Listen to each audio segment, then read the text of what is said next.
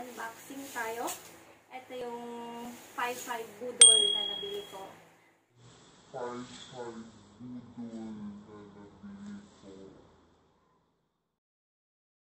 Hindi ko sure kung budol talaga siya, but um, tingin ko hindi man budol sa price, budol yung yung function niya. Yung ito pala siya, lalagay ko dito. Um, para siyang vibrating plate, uh, something for for exercise. So, yun. So, yeah. Ang hindi ko lang nagustuhan pala here is that yung packaging, walang nakalagay na fragile. So, ganito siya. O, basta ganyan lang. Walang fragile kahit sa ilalim. And, isang isang layer lang ng bubble wrap yung ginamit. Sobrang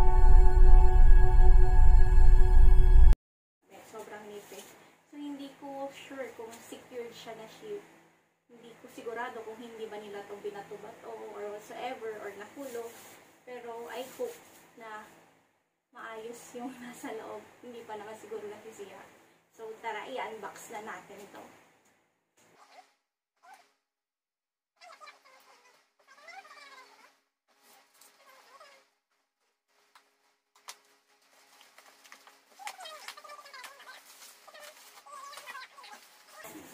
Tingin ko ito naman yung ibabaw. Wala din na.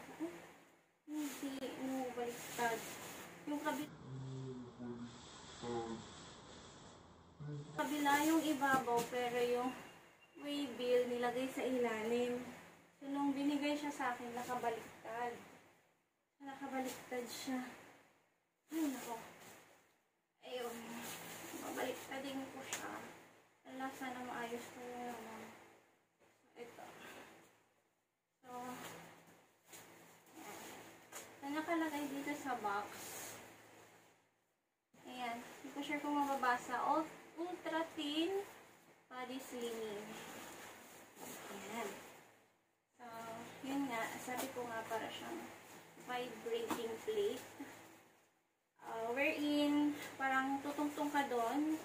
So, vibrate, vibrate siya. Vibrate, vibrate yung tawan mo.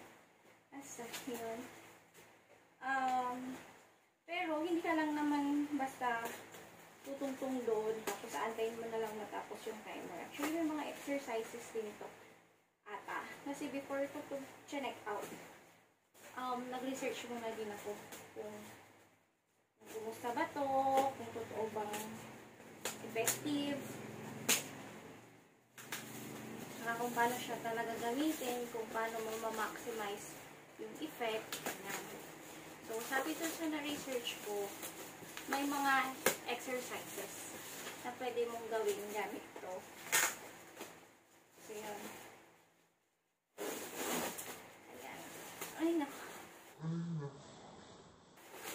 Mulan, mulan, mulan. So, ito pala si Mulan. Um, yan. Nadap ko siya nung baby pa siya.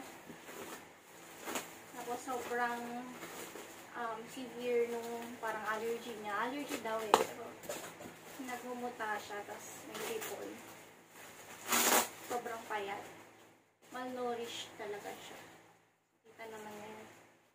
Ang taba-taba niya. Ang kulit-kulit na. Um,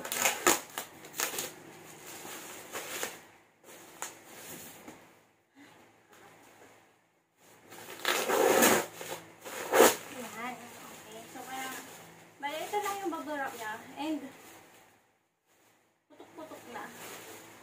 Oh, hopefully, safe naman yung laman.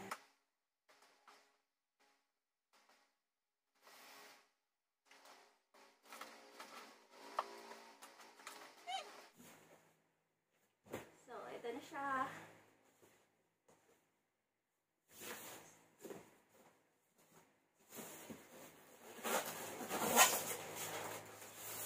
Yan. So, ang ganda-ganda ng itsura niya. Sobra. Para siyang ma compact, very compact.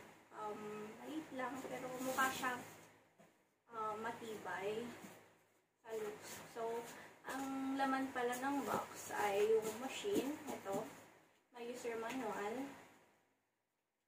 Um, ito ay power cord. Power cord. Ayan. May kailangan. Ah, may kasama din siyang remote. Kasi dun sa ano niya, ah, may, ano to, may built-in na USB speaker. So, hindi lang siya pang exercise. Hindi lang siya vibration plate or vibration platform. May built-in USB speaker din siya. So, pwede ka mag-play ng music habang nag-exercise. Tsaka may kasamang dalawang resistance band. Ayan. Ito resistance band na to, um, ano siya, yung isa sa mga exercises, kailangan mo ito. So, yun. Hindi lang kasi siya basta sasakay ka, sabi ko nga, hindi lang siya basta sasakay ka, tapos yung machine na mismo ang gagawa ng magic. So, syempre hindi. May kasama pa rin effort yan. Medyo pinadali lang siguro. Or baka pinahirap, hindi ko pa alam. Ila-try ko din. Muna. So, so far, yung inclusions niya, kompleto naman based dun sa description. Walang description dito sa box. Actually. Pero sa manual meron, tsaka description dun sa shop. Sa shop. So, nakalagay naman dun yung inclusions niya. So, kompleto naman so far. Um, yan. Try natin. I-try na lang natin. Medyo mabigat siya. Ilang kilo nga daw to? 7. Nandun din sa description. So, siguro ilagay ko lang din dito sa side. Ayan. Tapos yung platform niya, may pang, anong tawag dito? Acupuncture effect. Kasi may tusok-tusok. Hindi siya tusok-tusok. Pero parang nakakatusok-tusok siya. Ayan. So, try natin. Andito pala yung lagay ng power cord, tsaka may power button dito. USB din pag gustong mag-connect ng ano pa, speaker pa ulit. Ayan. Lang.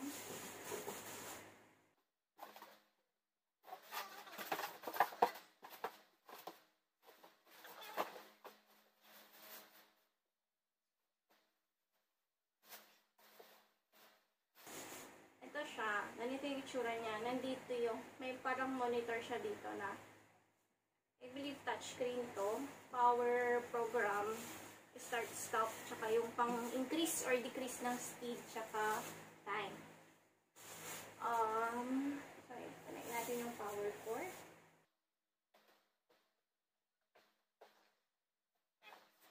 Yung pinuha kong, ano, may, in, may, ano, yung nilagay ko doon is US, US plug. So, yun. US plug yung pinili ko. Ano ba? Hindi, kasi yung mga saksakan namin dito sa bahay ganito. So, yan. Nag-ready na din ako ng extension cord para madali. So, ito try natin kung gagana. So, pwede yung remote, pwede din yung remote kasi wala pa yatang battery. Hindi, hindi pwedeng i-ship ang battery. Alam ko. So. Wala nga. Walang battery. Pero may kasama siyang remote na may power, play, pause, speed and time din na pang increase and decrease ng speed and time. Tsaka yung 1, 2, 3, 4, 5 na button dito sa baba. Sa music naman. So, yan. Ayan. So, ito try na natin. Ay, by the way, meron din dito dalawang metal. Basta nasa ilalim. Dito kasi. Dito kinoconnect yung resistance band. So, ganito siya.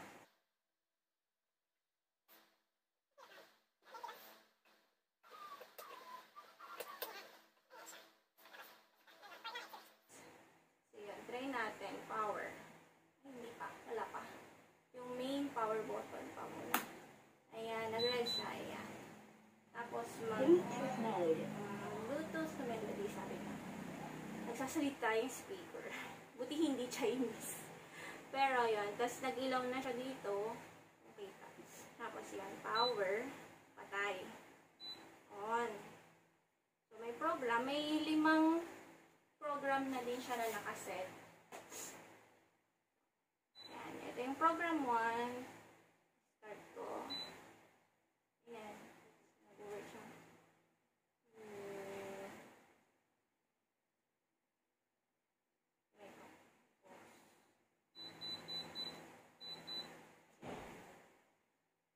Program 2.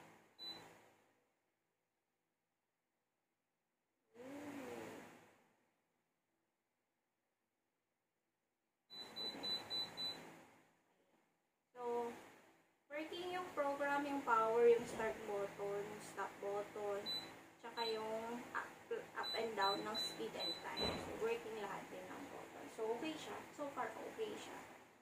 Tinatry ko na lang siya. Soon, uh, maybe tomorrow. Ganun.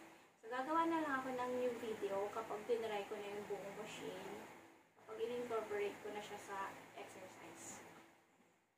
Para naman, saka update na din. Saka review kung effective ba siya. So, yun. Um, ilalagay ko na lang sa description box yung link kung saan ko siya nabili. Para kung gusto nyong bumili, gusto nyo din ng ganito para sa inyo, pwede pwede nyo nang i-check out agad dun sa link. Ilalagay ko yung mismong shop kung saan ko to bumili. So, yun. So, I think, yun muna for today. Um, abangan nyo na lang yung susunod na video para sa review ko ng, ng buong gamit ko sa machine na to. So, yun lang. Thank you for watching. Bye-bye.